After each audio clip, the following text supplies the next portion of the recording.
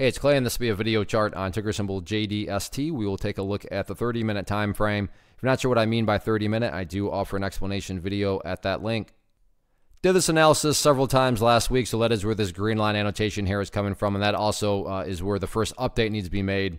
So this level here was an area of support here at $1.41, and there is a foundational rule in charting which states when levels of support are broken and closed below, they tend to act as resistance.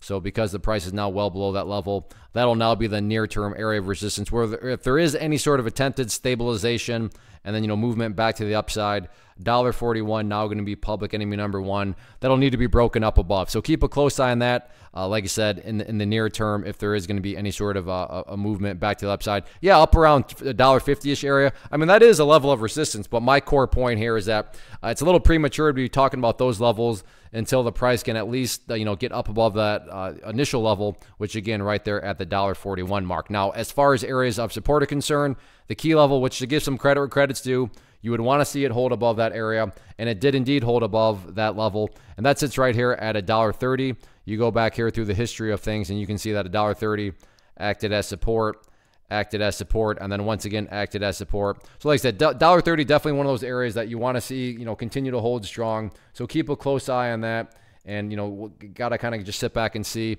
uh, whether or not the Bulls are going to be able to muster up enough strength to, to maintain that area. But uh, if they are not, though, that's where things get interesting because the next level of support really not until all the way down here at $1.22. Am I saying that it's going to drop straight down there? I'm not saying that. My point is that there's just quite a bit of open space here that could present and create that much more downwards pressure to it. So we'll see what happens with it. Only Monday, so still four days left this week. So we'll see if the price can try to get things turned around or not.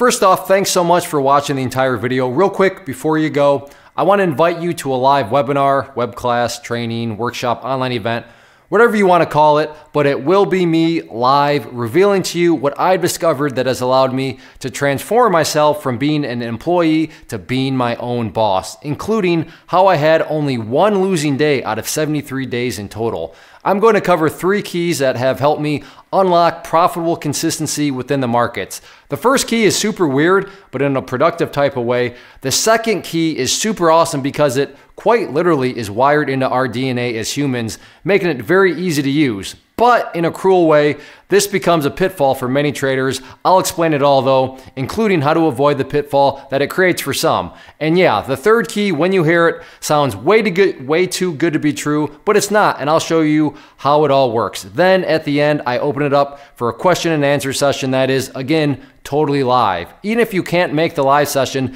please still sign up as it will be recorded, and you can go back and watch the replay that I will send you.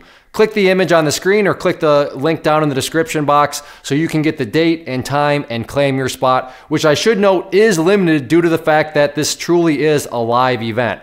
If you have any questions, let me know. If not, I'll be seeing you soon.